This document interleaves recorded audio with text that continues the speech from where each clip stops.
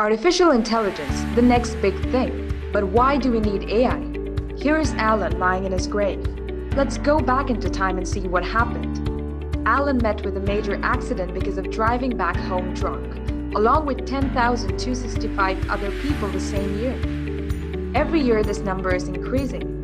Can we have cars that can drive on its own, that can save people like Alan? Jack is blind. He wishes for a device that could help him to see the world. Meet Olivia.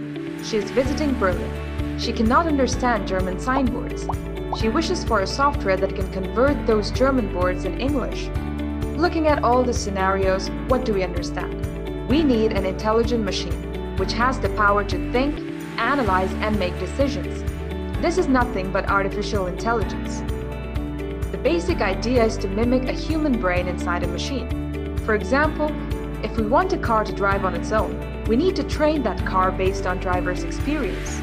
With AI, people like Alan can sit comfortably in a self-driving car and reach home safely. You will be amazed to know the advancements that have been made in this field. AI has also helped people like Jack. Orcam's MyEye is a small wearable device that has the ability to read printed text from any surface.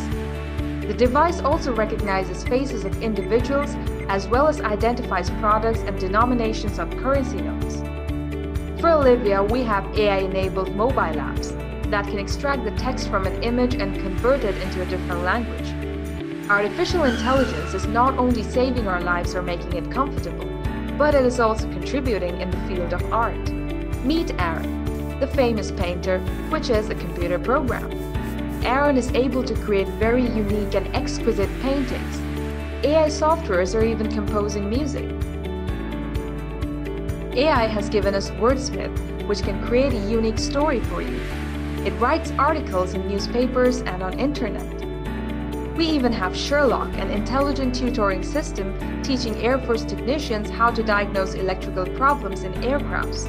So clearly, after internet, which has connected the entire world and microchips without which modern humans cannot survive, AI is the next big thing that is revolutionizing the world.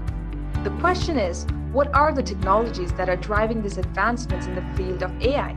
First came machine learning for achieving AI, and now people are talking about deep learning, which is a subfield of machine learning. Deep learning works in the same way how a human brain works. It is inspired from neurons, which are nothing but brain cells. Deep learning uses multiple artificial neurons. These neurons are arranged in the form of layers. Output of every layer is the input to the next layer. Earlier, due to less data and lack of computational power, deep learning was not possible. But now, we have GPUs and huge amount of data because of which deep learning models give very high accuracy. For deep learning, the most famous programming language is Python, and TensorFlow is a Python package for implementing deep learning models. So come and master the concepts of AI and deep learning with Edureka structured program, which includes neural networks, convolutional neural networks, recurrent neural networks, RBM, and autoencoders using TensorFlow. Thanks for watching and hope to see you on board with Edureka soon.